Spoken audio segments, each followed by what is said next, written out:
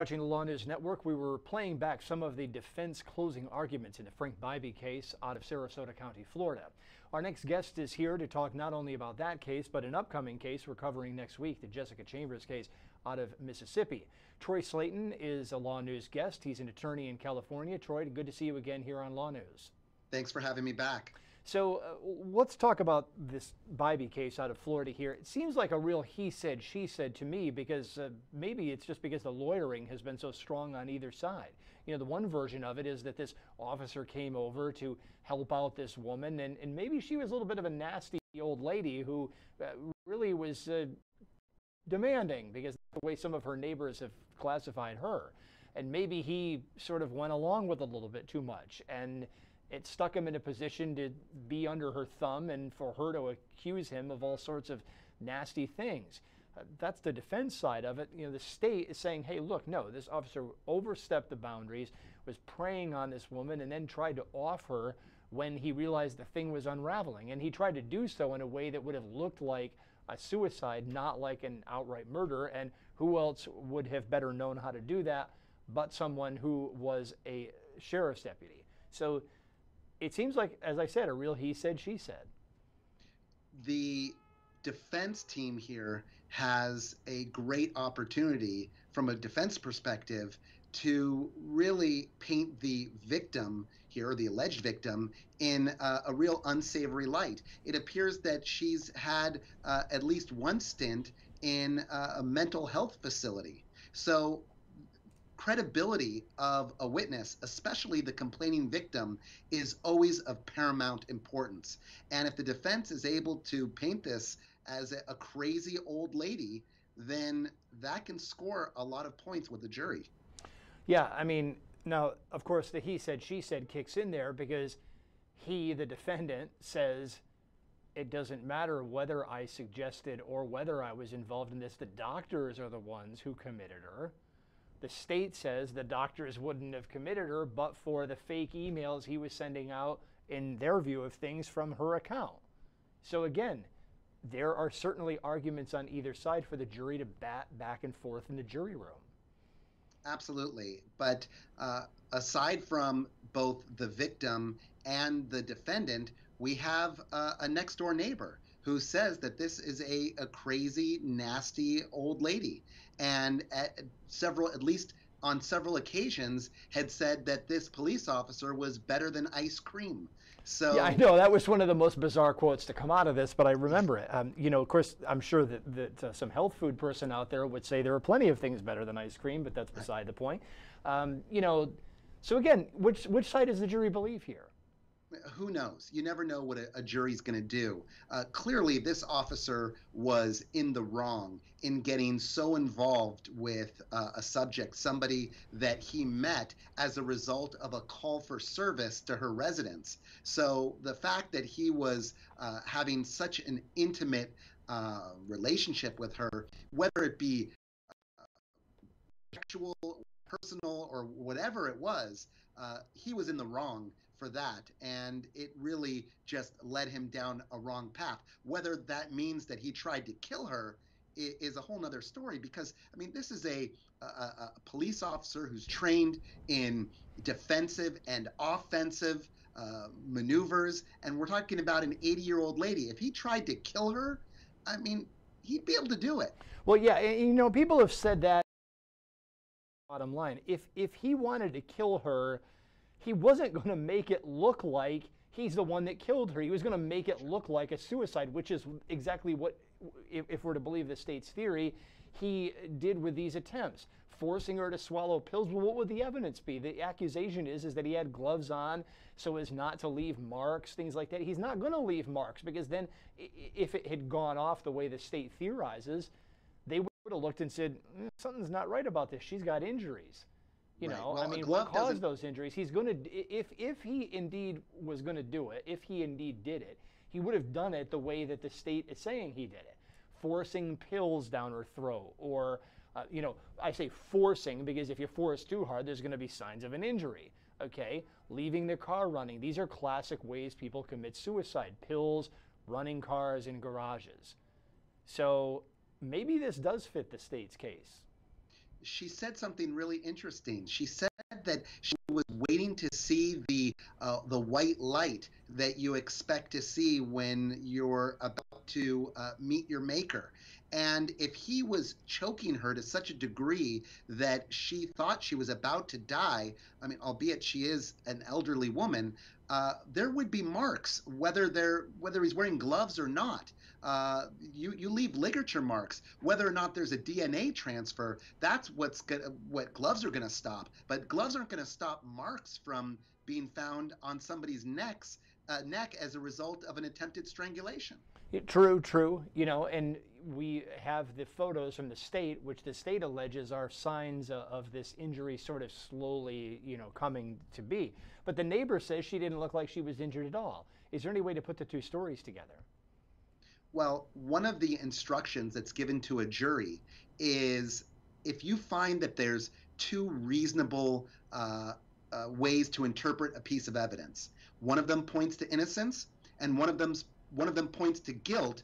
You must, you're required to adopt that which points to innocence. It's it's what's known as the circumstantial evidence uh, instruction, and uh, that's told to jurors all the time. So if they if if by looking at that evidence, it could lead the jurors down a path of guilt or a path of innocence, they must, as long as it's reasonable, adopt the interpretation that points to innocence. Yeah, you know, I, I have to wonder about that. You know, I'm not a scientist as far as understanding injuries, but look, if I bump myself on the table when I walk out the door, it doesn't bruise immediately. I notice the bruise later. Is it possible to take this neighbor's version of things and say, uh, well, the victim, the alleged victim, didn't look like she was injured, and then later the injury started to manifest as a bruise would if I slam myself into the door frame on the way out the door. Well, that's a completely reasonable explanation, and that's what the uh, prosecutor, I'm sure, is trying to pound into the, the heads of the jurors. Yeah, uh, I, I, don't necessarily disagree with that. Uh, it's possible that the neighbor didn't notice the injuries, but that they became more visible by the time the police showed up, depending on the time frame here. But we didn't hear a lot of evidence like that. It was just sort of left to the jury to connect the dots on that, at least from, from what I've seen.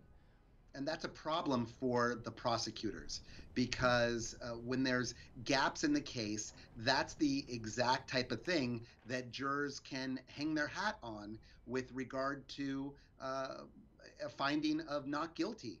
And so jurors, when they go back into that jury room and they're deliberating, they take their job very seriously. They want to do the right thing. And I think that when applying the facts to the law, uh, they're going to look for things like that. Why wouldn't the uh, police investigators have a picture from the next day and the day after that and the day after that when we could see exactly how uh, bruises, if any, developed over time?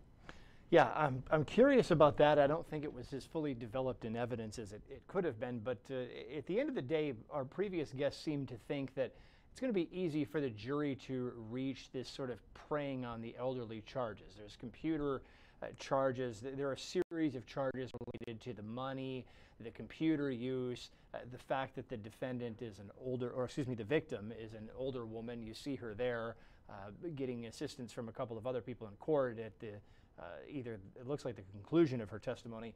But um, you know, is it possible that the jury is going to reach some of these lower charges and say, hey, look, we, we're not comfortable with this relationship, but that the jury is not going to reach that top attempted murder charge? Absolutely. And I think jurors really like to do that all the time, especially if they get an icky feeling about the defendant. They they'll be more than happy to uh, what we call in, in legal terms split the baby. and and they're happy to uh, find if they if they think this guy was bad. He seems like he was a dirty cop. He seems like he was trying to mess with her. But we also don't believe everything that she's saying because she's kind of crazy. Let's convict him on some of these lesser charges and uh, and and acquit him on the more serious charge of attempted murder. Well, and it also goes back to beyond reasonable doubt too. I mean, I'm relatively convinced that I'm not cool with the way that this relationship, whatever it was, was going on here.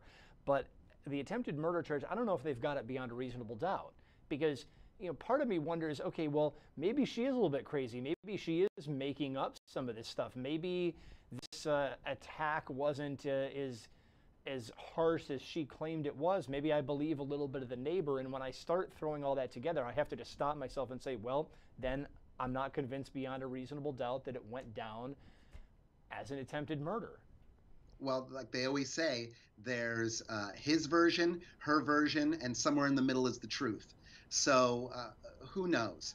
Um, but uh, sometimes jurors uh, acquit when they should convict. Sometimes they convict when they should acquit. You never know what they're going to do. Um, but unless they feel not just you know beyond a reasonable doubt, but to the exclusion of any reasonable doubt, I like to tell jurors that they have to be 100% free of reasonable doubt in order to convict. And uh, if, if they don't find that the evidence meets then they're not going to uh, vote in favor of the state with regard to that attempted murder charge. Yeah, the jury's had the case since earlier today, so I'm really curious to see where this goes. Uh, I've not yet heard how late they're going to deliberate. Part of me always uh, wants to say that they may wrap this up today because they don't want to drag it into another work week, but we don't know yet. Sometimes they do drag things into another week.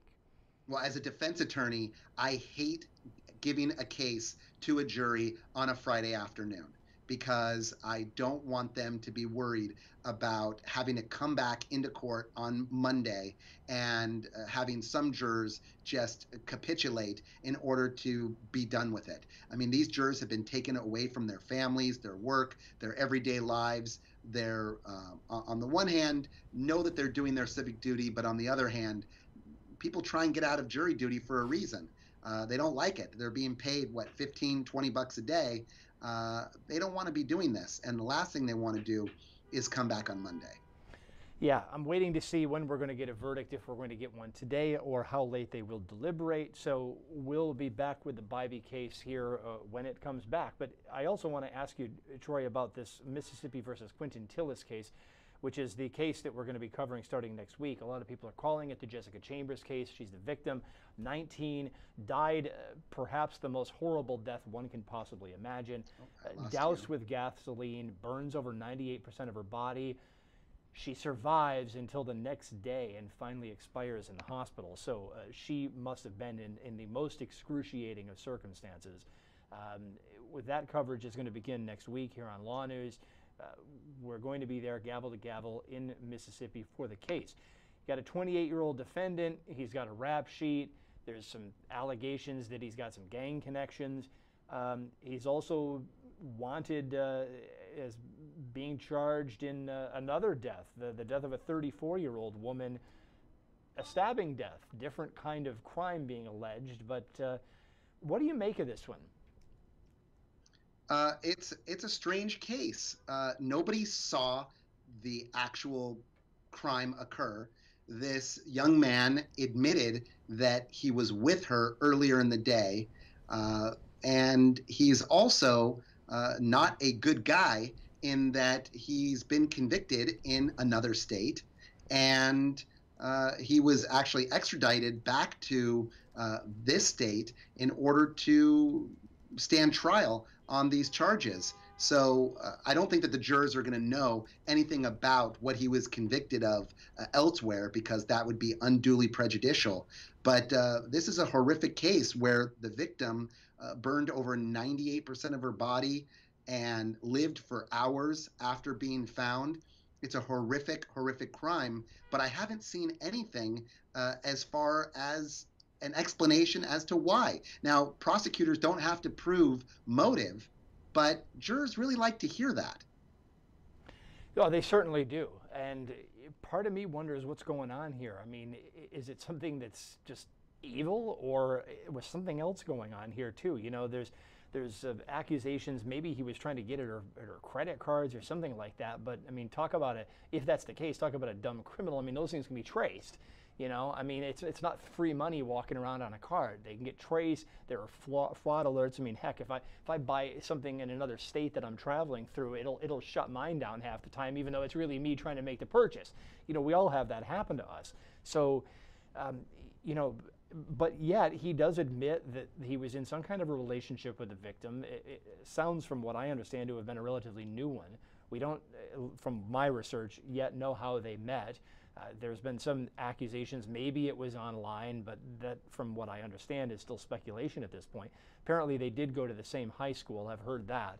So, uh, you know, they were in some kind of a fledgling relationship, um, but it, it, sounds as if it were relatively new. And beyond that, he admits to have, being, uh, have been with her the, the day that she was attacked, but nothing beyond that. So I don't know. I'm, I'm trying to figure this out as well. Uh, as a juror and as a defense attorney, I would really want to know uh, if any other evidence was found. She was doused uh, along with her car with some sort of accelerant, uh, some sort of flammable liquid. And I want to know was that found on him or any of his clothes or any of his belongings?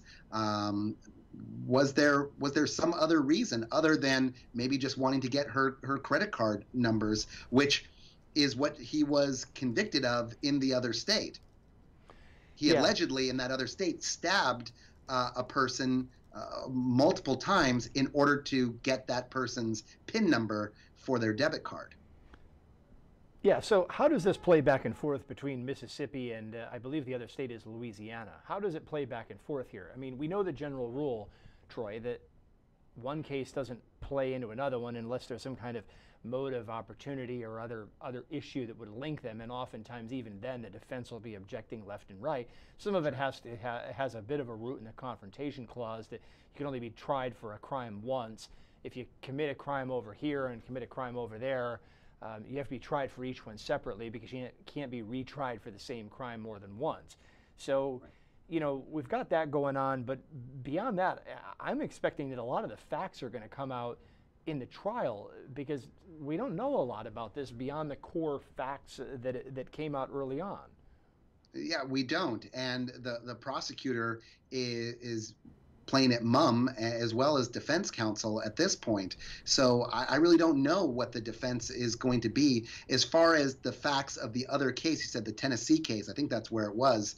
Um, yeah, normally those those things are not admissible because the danger of unfair prejudice um, substantially outweighs any probative value from that other case, unless they can show some sort of, like you said, habit or routine if they can show that this is what he always did. But the facts of the other case are so different. That's that's a case involves involving a stabbing. This is a case involving uh, lighting somebody on, on fires uh, immolation i think is the the term for it. And it's um it's it's a pretty horrific crime but hopefully the jury won't be compelled to convict just based on the heinous nature of the crime and wanting to hold somebody responsible and uh, and actually on the facts as they're presented here.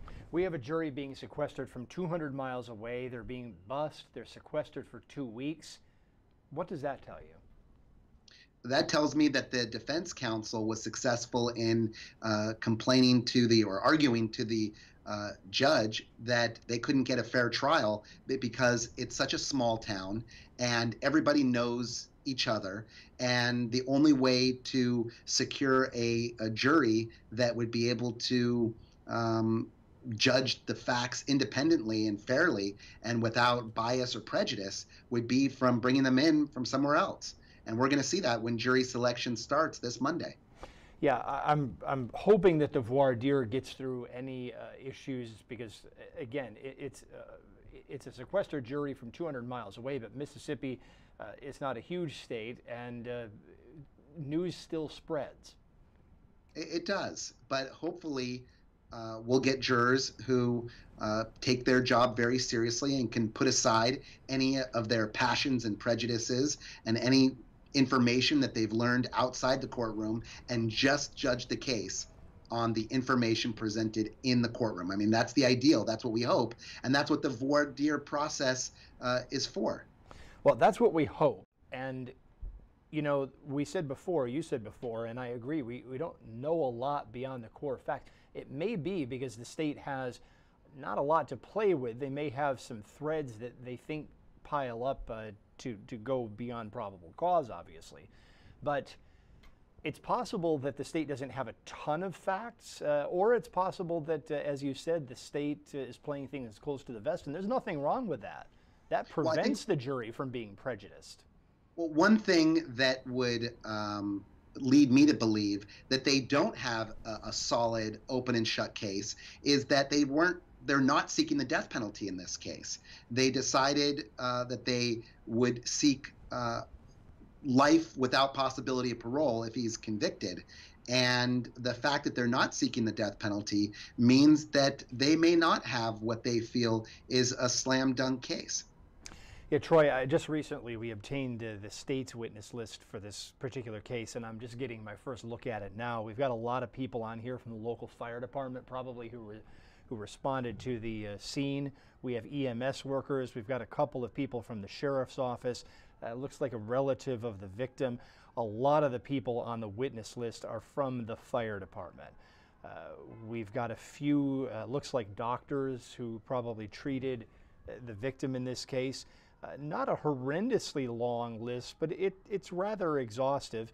Uh, there are a couple of expert witnesses here. We've got somebody from the ATF, probably to talk about the type of accelerant used, uh, the, the crime lab that tested, that tested uh, what was used here. Uh, got a couple of, uh, we've got a couple of cell phone people here from AT&T and Verizon, and a couple of other laboratory people. But um, also someone from the U.S. Attorney's Office. That's interesting. FBI District Office. A lot of law enforcement, a lot of local first responders on that list.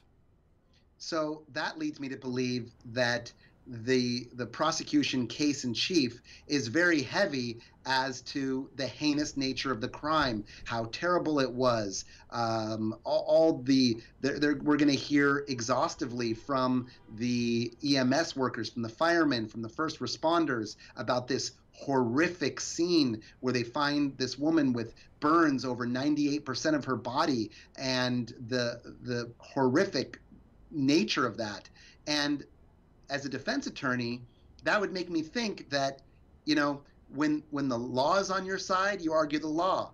When the facts are on your side, you argue the facts. And when neither the law nor the facts are on your side, you just make a lot of noise and uh, try and uh, tug at the heartstrings of these jurors. Does this concern you in any way? Well, does what part of it? I mean, the part that the, the witnesses all seem to be people that can't really tell us who it was that did it? Well, more or less. I mean, I, I, asked a question and you, you answered it by asking another question, but it was an answer wrapped up in a question. So, uh, you know, I, I, just I just wonder, you know, look, we all get the we all know there's a jury instruction in every state where I've ever been, and I'm assuming Mississippi has it, that tells the jury, look, you can't decide the case based on sympathy for the victim or emotion. And so when I and, and look, I mean, I, I take flack when I say this, but when I see cases built on that, I start to get a little bit nervous. I get a little bit queasy because of course we're going to feel sorry for the victim. I mean, nobody's going to look at this and say, oh yeah, that that's that's not a horrible death. I mean, everybody's going to look at it and say it's a horrible death. I, I of course feel sorry for the victim, but and again, maybe this just is the way my brain thinks, but I, I have learned I have to separate that from the question as to whether or not the particular defendant sitting in the chair is guilty beyond a reasonable doubt. I, I, have really had to force myself to divide my brain in half and, and separate one from the other. Uh, and look, am, and, am I and, evil for doing that? I don't think you're evil for doing that at all. And one thing that we can't ignore, I, I believe, and I wish that this wasn't something that we have to discuss, and it's really the 800 pound gorilla uh, in the room, and that's race. Uh, we've got Mississippi, we've got a, a white um, victim, and we've got a, a black defendant and Mississippi has a, a storied history uh, with regard to race. And in any case like that, uh, like this, it, comes up, and it's it, it's easy for us as legal experts to think that everything is decided on the facts and the law, but that's just not reality. You're correct. Um, I am, am very hesitant to go there because uh, perhaps it, it's that I, I hope that we've moved past that as a society, although I recognize that we haven't. Uh, but I, hope, I so hope I hope that the voir dire process deals with this. I hope the peremptory strikes deal with this. Uh, that's my hope. So I'm I'm reserving judgment on that because I would hate to stereotype uh, a perfectly fine jury who's going to look at the case uh, correctly. Uh, and and you know I'm gonna I'm gonna sort of wait and see what we find out about who's on the jury, uh, you know how they're paying attention to the evidence uh, before I kind of go down there. But I, I, I will agree with you, Troy, that uh, it's something that I'm taking a look at. Uh, but beyond that, I'm not forming opinions about it yet. So. Um, you know, bottom line is we, have got the sequestered jury. We don't know who's ultimately going to be on it. We don't know the gender makeup of the jury yet. We don't know the racial makeup of the jury yet. Um, and uh, I don't even know where they're going to be brought in from. 200 miles is a, a, decent distance. So we still have a lot to think about with this case. We will be covering it here on LawNewz next week. Uh, Troy, good to have you back on LawNewz. Certainly uh, appreciate your viewpoint. Did your automatic lights in your office go out? I think it did. there, there, we, there we, are. Okay. Uh, you've got them on a sensor. You're more technologically advanced than we are. So um, I, got the, I got it back, though. Thank you so much for having me. Okay. Thanks a lot, Troy. We'll see you again. Nice seeing you.